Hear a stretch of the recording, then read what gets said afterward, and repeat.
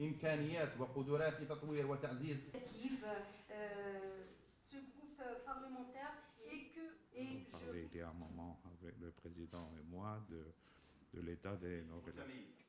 ويجدر التفكير بالقواسم المتميزة الرابطة بين الجزائر وإسبانيا d'amitié avec l'Espagne. Cette euh, installation البرلمانية وتطوير التعاون البرلماني من خلال تبادل الزيارات après, on va essayer d'aller vers le sud. Dans, ces, dans cet ensemble de, de, de forces,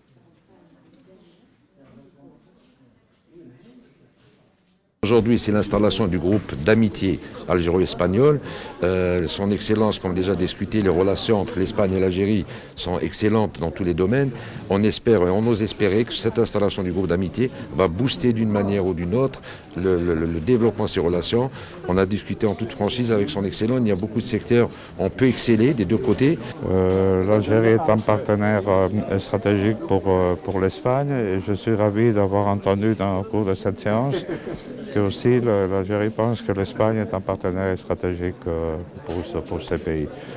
Euh, nous essayons, euh, le gouvernement algérien, le gouvernement espagnol, nous essayons de trouver de nouveaux moyens pour encore développer ces relations.